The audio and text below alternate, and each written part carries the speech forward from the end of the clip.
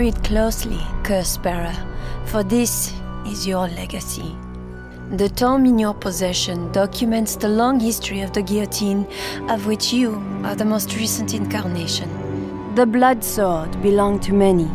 Some used it for good, many more for evil.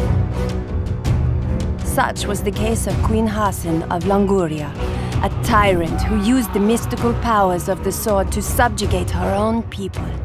So many died under her evil regime that her own subjects turned against her, taking her castle by storm. The rebels stole the queen's sword and locked her in one of her own cursed torture devices. And there she remained until an ancient evil took notice.